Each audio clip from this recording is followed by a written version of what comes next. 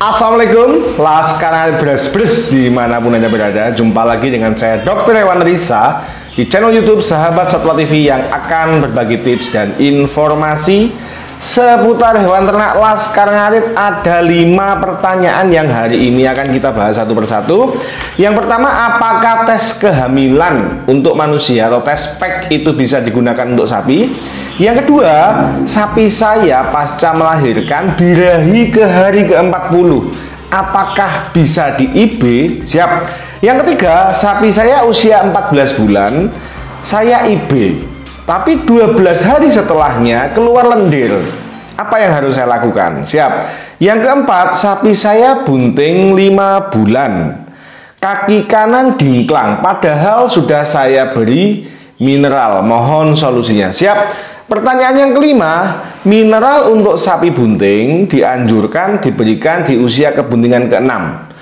Lalu, apakah garam juga sama dan sebenarnya apakah fungsi garam? Siap, Laskar Ngarit Bres Bres di mana pun Anda berada. Itu tadi adalah 6, eh sorry, 5 pertanyaan dari Laskar Ngarit yang masuk ke kolom komentar yang sudah saya pilih untuk saya jawab satu persatu. Siap. Pertanyaan yang pertama, Sigit Wahyu. Apakah tes kehamilan manusia atau tes PEC bisa digunakan untuk sapi? Laskar ngarit beres-beres di mana pun Anda berada, tes PEC itu mendeteksi tingginya kadar human HCG, human chorionic gonadotropin hormone Sedangkan pada sapi, hormon kebuntingan itu adalah progesteron. Jadi berbeda. Jika bahan aktif yang ada di tes speknya manusia ini itu akan mendeteksi keberadaan hormon HCG, hormon kebuntingan pada manusia. Jadi ketika manusia itu bunting, HCG-nya tinggi, human chorionic gonadotropinnya itu tinggi, maka begitu dia hamil, dites, maka dia positif. Oscar ngarit. Tetapi pada sapi, sapi yang bunting itu mengandung atau kadar hormon yang tinggi adalah kadar progesteron. Jadi bahan yang aktif di tes pack ini tidak akan bereaksi bila ketemu dengan progesteron laskar ngarit. Nah, tetapi laskar ngarit sekarang ini lagi dikembangkan alat kebuntingan, alat tes kebuntingan untuk sapi melalui urin dan susu laskar ngarit. Jadi di situ semoga segera bisa diperjualbelikan secara bebas. Tetapi bila di tempat teman-teman sudah ada dokter yang memiliki ultrasonografi ya seperti yang saya punya, tetapi dia probe-nya atau yang dibuat melihat itu bisa digunakan untuk uh, sapi maka akan lebih akurat lagi. Jadi tinggal manggil dokter dokternya datang lalu dimasukkan ke dalam rektal atau rektum ya lalu akan kelihatan langsung. Pemilik akan bisa melihat langsung sapinya bunting atau tidak. Oke masih gitu Wahyu ya semoga berkenan. Pertanyaan yang kedua Mas Dikun Sapi saya birahi hari ke-40 berarti top ya. Apakah bisa dikawinkan? Laskar Ngarit, sapinya Mas Dikun ini pasca melahirkan hari ke-40 sudah birahi. Berarti proses involusi uterusnya berlangsung kurang dari 40 hari Laskar Ngarit. Nah, Mas Dikun bertanya, apakah bisa dikawinkan? Saran saya jangan Berikan obat cacing dulu bila belum diberikan obat cacing. Oke, setelah diberikan obat cacing, nah jenengan bisa bilang, eh, jenengan bisa menjadwalkan perkawinan bisa dilakukan di birahi ketiga. Birahi pertama 40 hari, oke.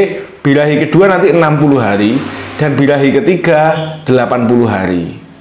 Bisa dikawinkan, tetapi bila ternyata dulu sudah diberikan obat cacing, maka jenengan bisa mengawinkan di birahi kedua dibirahi ke e, eh, 60 hari. Kenapa? Karena birahi pertama ini birahi belajar bahasa gampangnya. Hormonal belum terlalu tinggi. Jadi kadang-kadang keluar gejala tetapi masih belum semuanya laskar ngarit.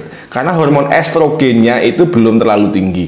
Tetapi bila setelah 20 sampai 21 hari dari 40 hari ini keluar lendir dan birahi lagi berarti memang sapinya sudah siap untuk dilakukan inseminasi atau itu sungguh-sungguh birahi lah sekarang Adit. Siap. Mas Dikun semangat semoga segera bunting sapinya. Adifa Rumaiza pertanyaan ketiga.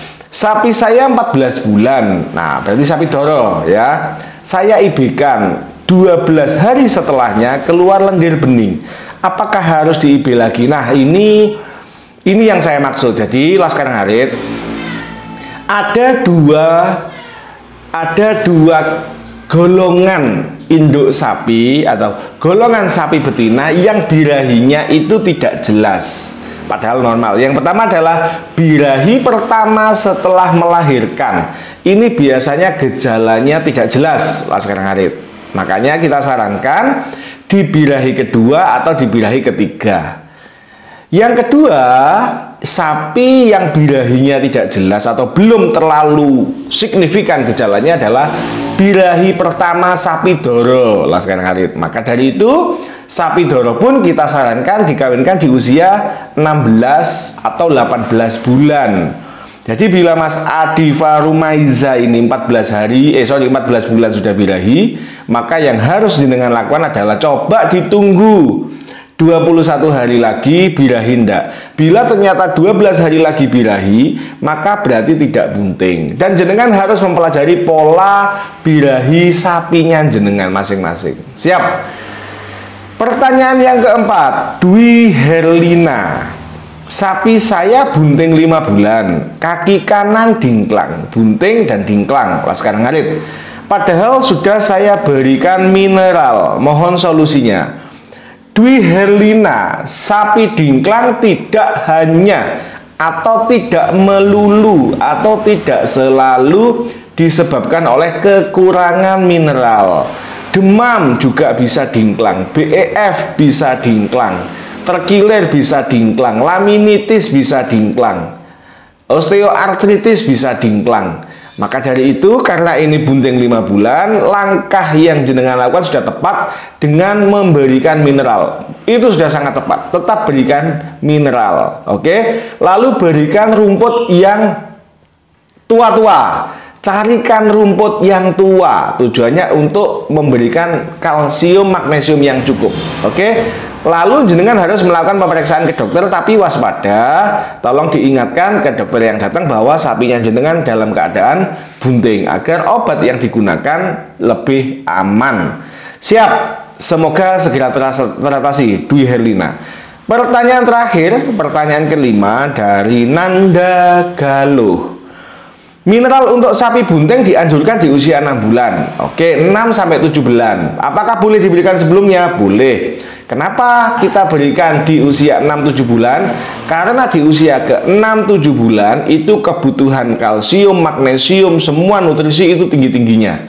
Maka biar seekor sapi tidak jatuh, tidak ambruk, tidak kekurangan, maka diisilah di usia 6-7 bulan dengan mineral. Lalu Mas Nanda Galuh bertanya, lalu bagaimana dengan garam?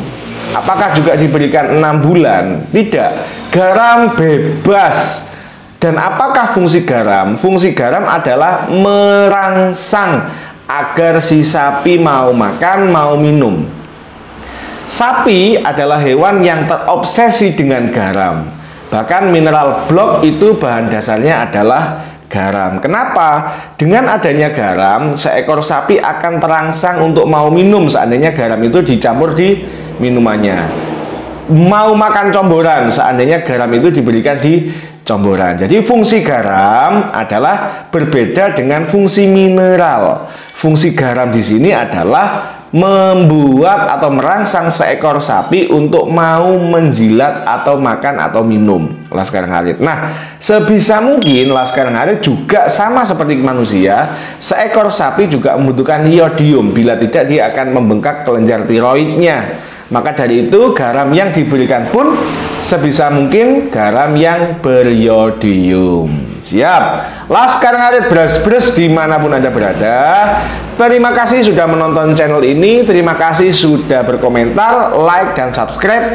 Jangan lupa buat jenengan yang ingin dibahas atau dijawab satu persatu ya Gunakan bahasa Indonesia yang baik, yang jelas, jangan disingkat-singkat dan jangan terlalu banyak tanda baca, titik, koma, tanda tanya, apalagi pakai tanda seru.